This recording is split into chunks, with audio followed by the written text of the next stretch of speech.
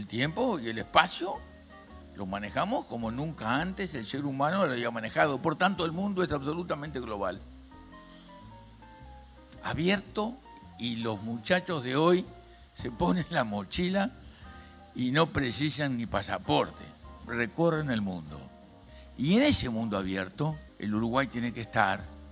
No puede estar encerrado con tres o cuatro más, por más amigos y parientes que sean, porque no le sirve ni a ellos ni al Uruguay. Somos vendedores de materias primas. ¿Cómo se cambia eso? Por supuesto que con tiempo. Las naciones no son más felices porque sean más grandes ni porque sean más ricas. Son más felices si tienen más filósofos, más científicos y más educadores.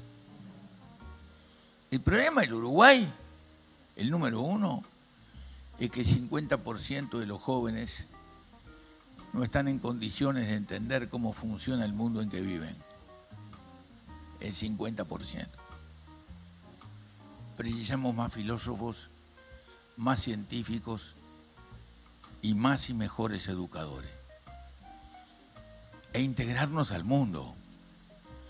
Porque es la forma como crecimos. Cuando todos los veteranos como yo, que tengo casi 100 años, salimos de noche el día de la nostalgia, ¿qué es lo que estamos recordando?